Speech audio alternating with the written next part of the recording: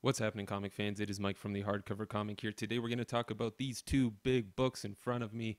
I'm talking about Shaolin Cowboy, uh, the Geof Darrow's creation uh, that, that was published by Dark Horse in these nice, oversized hardcover formats. Um, so let's dive in.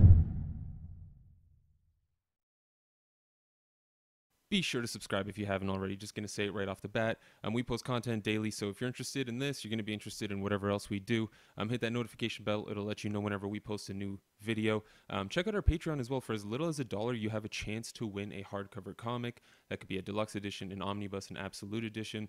Check out the, the link down in the description below for more details on that. And lastly, check out our sponsor, Dr. Squatch. They are a soap subscription service that brings soap to your door as many times as you want. And with the link down in the description below, you'll get free shipping on your subscription for the entirety of it. It's pretty sweet. Check that out as well. So a little background info on Geof Darrow. Um, so Matt and I, back in 2017, went to Planet Comic Con. We met a lot of awesome dudes like Matt Kindt, uh, Ryan Brown, Geof Darrow was one of the guys that we actually uh, met that day. And um, you know, I was telling him what a big fan I was of uh, Shaolin. I think at that time I had just bought in the books. Um, I don't know if these are actually signed by him. I, am blanking, but um, I was I was thrilled to meet him because he's amazing. And he was just sitting there, you know, doodling something. He was drawing pretty much on the entire cover of his uh, of his table. And um, he wasn't too talkative. I got kind of bummed out because uh, I did enjoy what I read here. It was, it was fun. His artwork is in, insanely good and um, I was a little bummed out. But I do like his artwork nonetheless, regardless of what that experience was like. I still had fun at the con, and uh, seeing him draw what cra- whatever craziness he was drawing was incredible because it was really really cool. Anyway, so Geof Darrows uh, back in 1982 met Moebius. He was Moebius was his mentor. Um, for those of you that are unaware of who Moebius is, he is the artist who has done um, incredible pieces of comic work, uh, most notably the Incal with uh, Alejandro Jodorowsky. Um, a huge, huge series um, with in, insanely beautiful artwork. Moebius is one of the best artists um, on the planet, in my opinion. And uh, so Geof Darrow was mentored by him, and then Moebius introduced him to Frank Miller. And with Frank Miller, he did Hard Boiled. Um, I always forget the name of this one. Uh, the Big Guy and Rusty the Boy Robot. Um, which was a really, really fun book as well. And those were published by Dark Horse in these large, oversized hardcover formats as well. So you get these nice big books to see all the artwork in. But Shaolin Cowboy, okay, so um, these two hardcovers collect the more recent Shaolin Cowboy minis. There were four issues each. Um, so you had, you know, Shempa and um, Who'll Stop the Rain. They also recently reprinted the original seven uh, issues that were published through Burlyman Comics, I believe uh, in the same hardcover format with just a green color here instead of the blue. So um, I may have to pick that up soon because these books I think have gone out of print and they're a little expensive to get. And they're really cool books. They're they're unique. So what's happening in Shaolin Cowboys? You've got this character. Um, who is essentially a Shaolin uh, monk who you know dresses like a cowboy, and uh, and in Shemp Buffet it's sort of him versus uh, an army, a sea of zombies, and he's got this dual uh, dual chainsaw um, pole arm, and it's it's in, it's incredible. The artwork is sensational. Um, you get it's a, a, whole bunch of action. You're just flipping through these pages, and you're like, oh my god, this is like. Ins- I wonder how much time Geof Darrow's truly spent on this. There's so much detail from you know the soda cans on the ground to the shoelace of someone running by to the tattoos on these zombies' bodies. It's insane.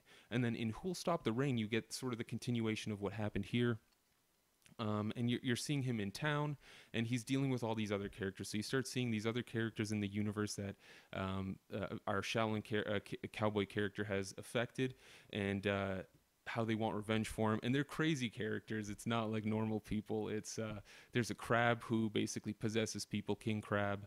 Um, and then I forget the name of the giant pig, but it's it's absolutely ridiculous what happens in this book, and uh, it's sort of what I've I've read uh, about Geof Darrow himself is he's one of these artists who takes the reins on things. So even when he was working with Frank Miller, uh, Frank Miller would have to change the script a lot because Geof Darrow sort of said, "Hey, I want to draw the whole thing. Give me a general outline of what you want to do."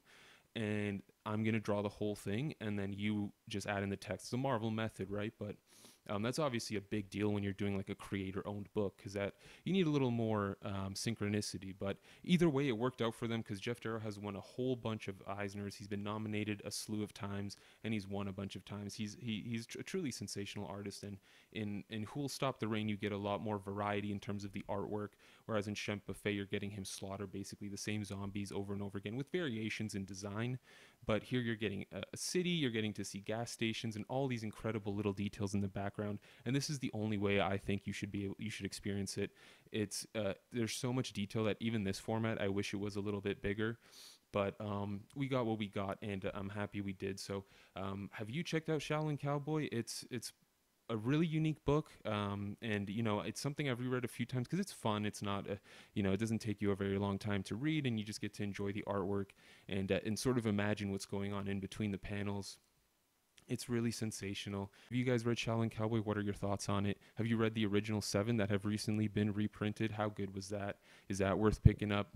Um, let us know down in the comments section below. And if you enjoyed this video, please be sure to subscribe.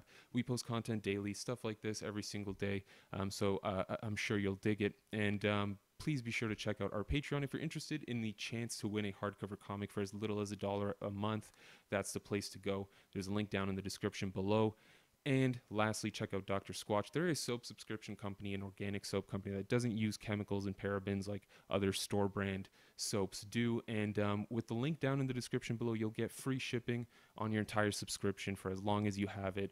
It's a great deal, so check that out down below. And thank you all very much for tuning in.